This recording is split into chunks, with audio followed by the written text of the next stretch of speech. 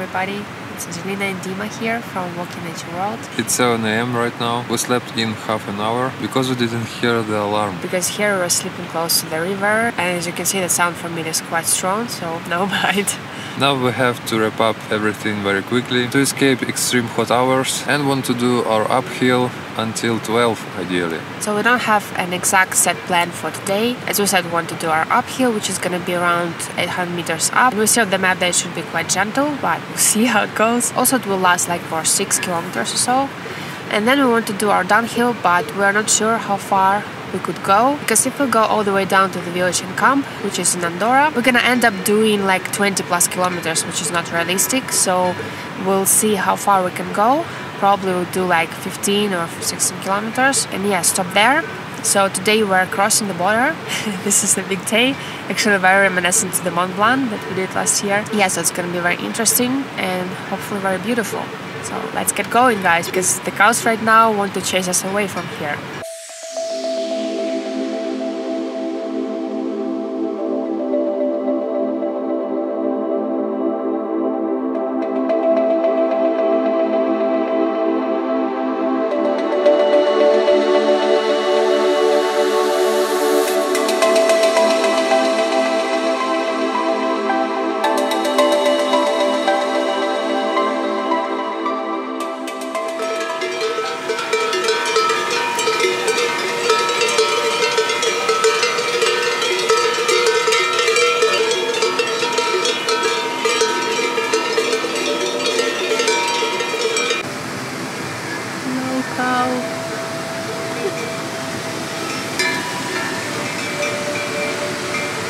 love that up until now we spent like four days in the stand, sleeping in the stand, and we don't see any condensation forming, you know, on the second wall.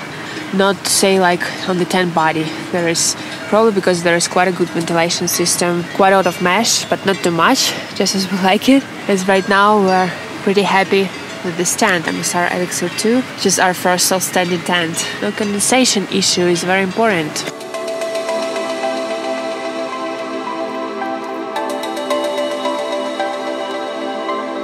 This river that we slept by tonight actually turned out to be a great water source. Uh, the water is so clean, I'm not sure if you can see it. Here, here it is in the bottle.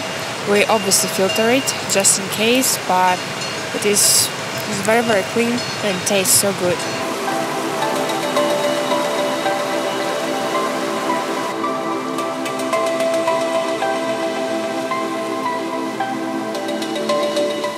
Our first mark of GR. We see that there is another GR, 107. Camí dels Bons Homes. Not sure where, it, where it's heading, but our direction is Encamp, and it says that it's around 20 kilometers, so we're not gonna do it all the way today, but we're heading there.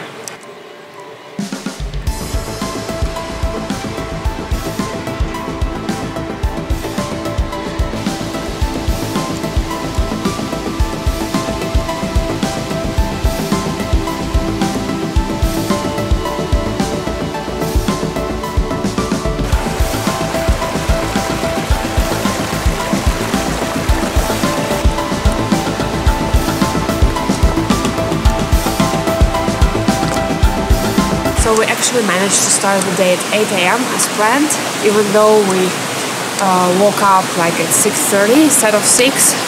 So yeah, off to a good start and enjoying this time without sun.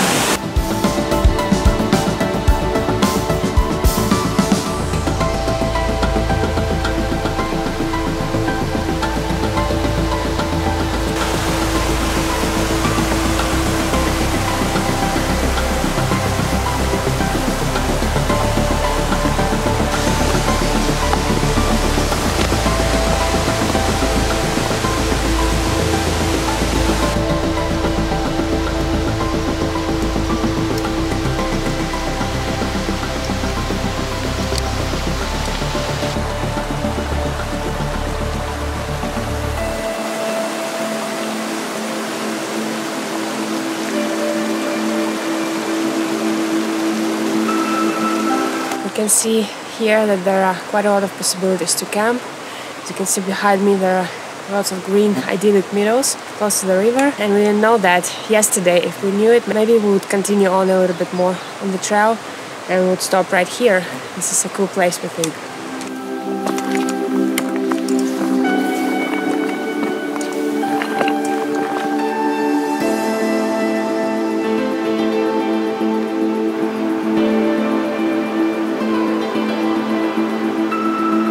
The day is promising to be all clear and sunny. Third day in a row and we're not against it. We love that the weather has been stable and there are no rains and storms so far. Yeah, so not complaining much, but it's gonna be hot today.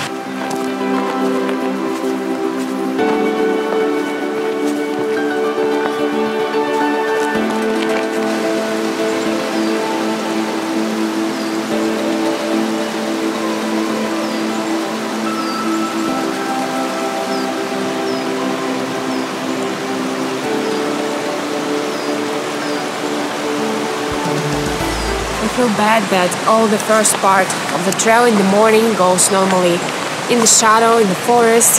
All the second half, when the sun is already up high in the sky, to go all with no shadow, clear up, desert landscapes. Can't really do nothing about it.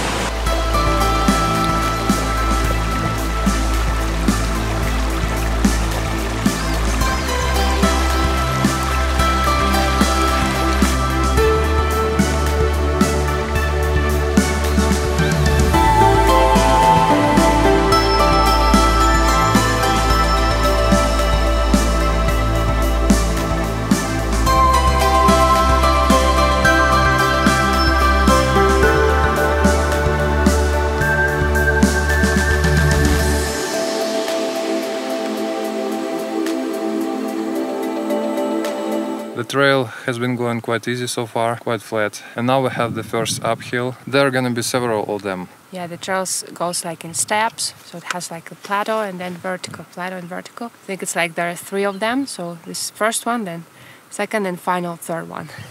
So yeah, off we go.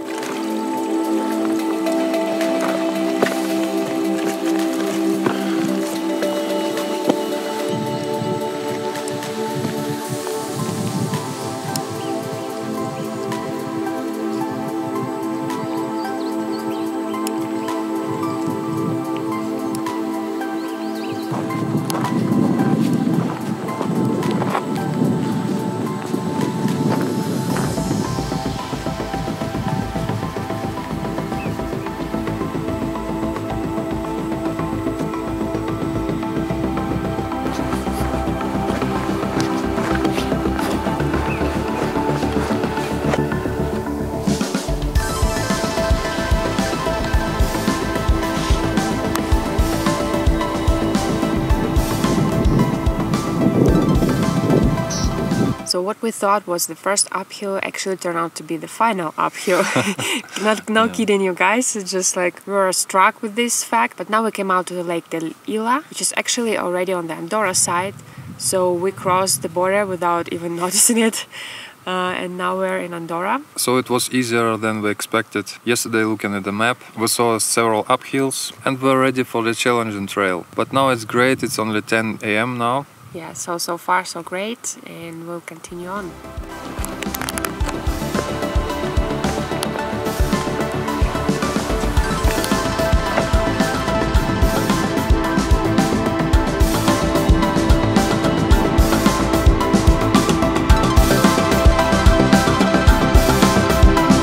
It's been the third day around since we started hiking and we can feel that over the body the tiredness is accumulating and even if you rest enough hours you still cannot recover fully. This is what we read about this trail the GR11 and actually GR10 on the French side as well that after five to seven days the body won't get recovered fully no matter how many hours you rest.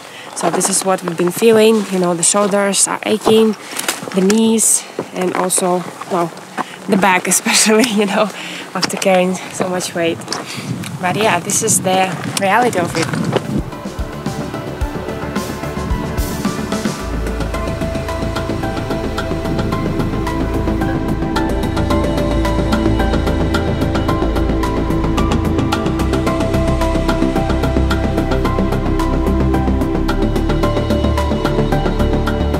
Haven't heard before Andorra and what it is, we just wanted to tell you several facts about it. It is located between Spain and France, obviously. So it is actually a small kingdom surrounded by the high mountain ranges from all the sides. The languages are spoken there are a mix of Catalan, Spanish, and French. So it is a very multicultural country. It can be a bit reminiscent to Switzerland, which is also a separate country between, you know, Italy, France, and Austria. So I find it's very interesting. And the things it is famous for are the commercial stuff, most of it. So a lot of the businesses actually uh, prefer to open there because you can do it like free of you know extra fees or something or it is very low.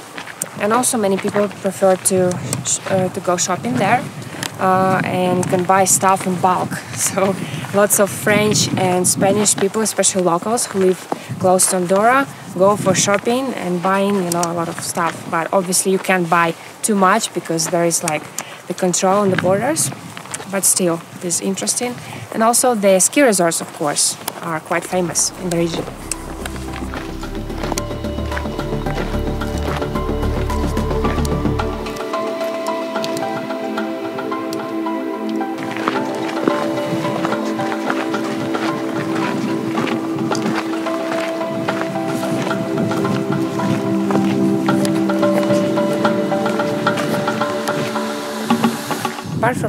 Guarded and payable refugee houses that we just passed by, on the way we meet a lot of this kind of rocky buildings, which are also the shelters, but they're not guarded and are free of charge, of course. So it is great to know for someone who likes to stop like this in the refugee houses. But for us, we would still prefer to stop in our tent, to stay in our tent.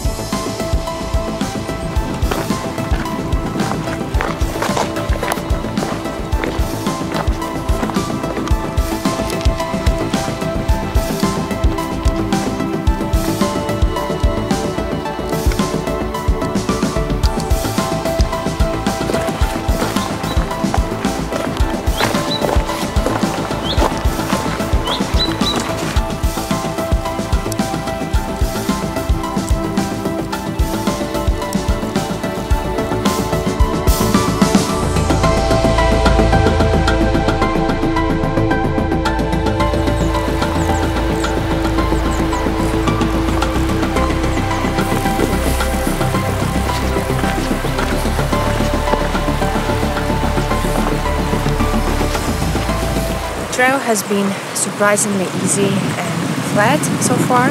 It's just a gentle downhill. And yeah, we think we're already over halfway for today. And we'll see how it continues.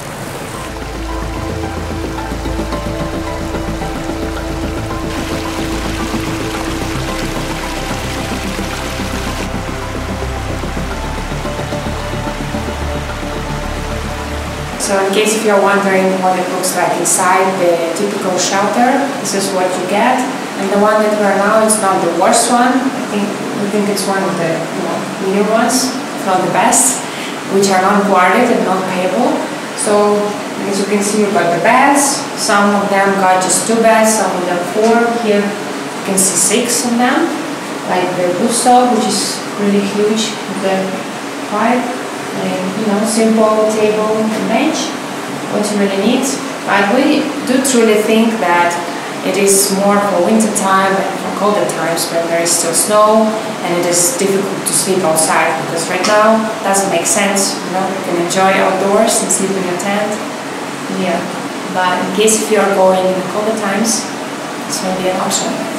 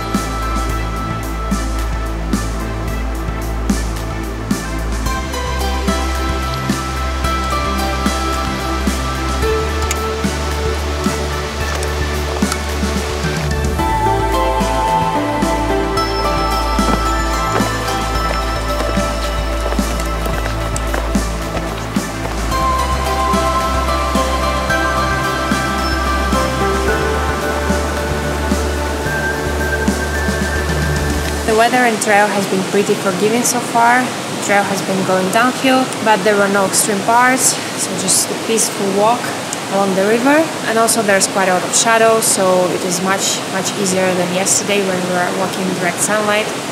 And also there is like cool wind and a little bit of clouds actually, so perfect weather hiking.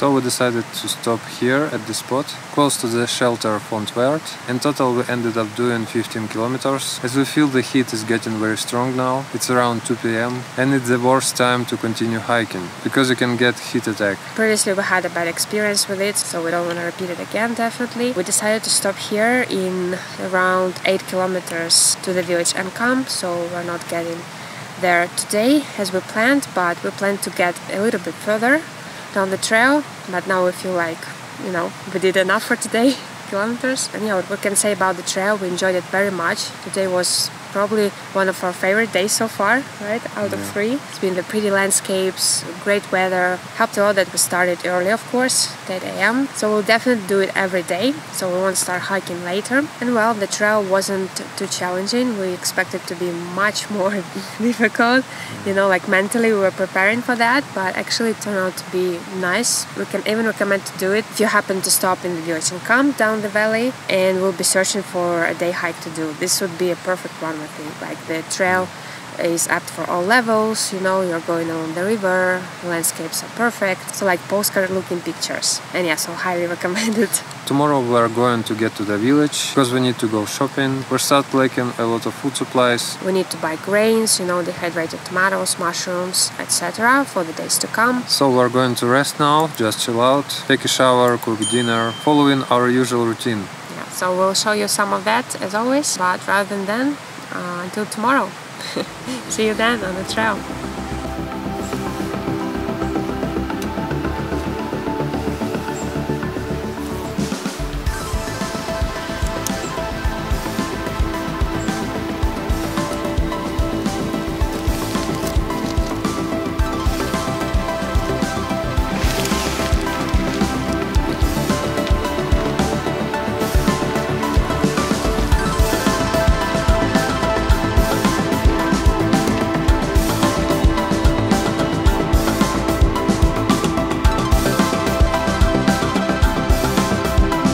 Here we just wanted to show you how we plan for a trip the day before.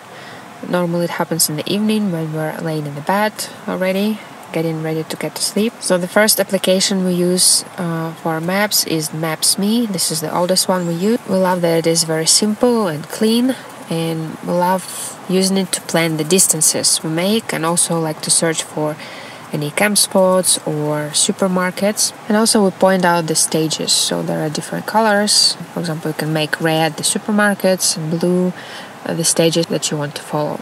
So this is that. And the other app that we like to use is, that we recently discovered it's the Mapy.cz. This is a weird name, but I think it's like from Czech Republic. And we discovered it thanks to one of our viewer. So Thank you so much. It's been great for checking out the elevation profile. This is actually one of the main reasons we felt attracted to it. So there are also you can plan out the trail. There are different signs of campsites, supermarkets, and so on. So ever refugee houses. But we love that it has like a lot of elevation marks, as you can see here, on different levels. And also when you plan out the route itself, it shows the elevation profile very well so I will show you what I mean now. This is where we start and this is where we finish. You open it up and you see that it says that how many meters will be up and how many meters will be down. And also you can see the elevation change at different levels kind of different kilometers. So we love it for that. Also, if you have the internet connection, you can use the weather on the trail, which is also very convenient, we think, because it, it goes for hours on the different points. So this is really nice for that. Also, the other application which we like to use uh, is the Google Earth, which is the classic. So this year we're using a lot of applications you can see, but this is because we are tackling the hard mountain trail, which we haven't done before, uh, like for so many days. So we want to be as prepared as possible. And here you can see the 3D view, which is really nice. It also works mostly online, but when we have network, we always go into it and kind of download the maps, not to say download, but it charges everything, and so you can look look it up even offline. Like now we're in forest with no network, but still works. You can see here kind of what expects you, like all the ridges and uphills and how steep gonna be the downhills. This is really really useful if you like. And we're also using it a lot as an addition to our more precise maps. This is that, this is what we use. Normally it takes us around, you know, good half an hour sometimes to figure out if it's a good route or no. Like we need to take a detour or shortcut. So yeah, this is a bit of behind the scenes of how we do it. Thanks a lot for watching. Hope you enjoyed this hiking trip. If so, give this video a thumbs up and subscribe to our YouTube channel for more hiking adventures. Don't forget to hit the bell to stay notified about every new video. Visit our website walkingnatureworld.com to find detailed hike reports with pictures and maps. Hope you have a wonderful day and we'll see you very soon.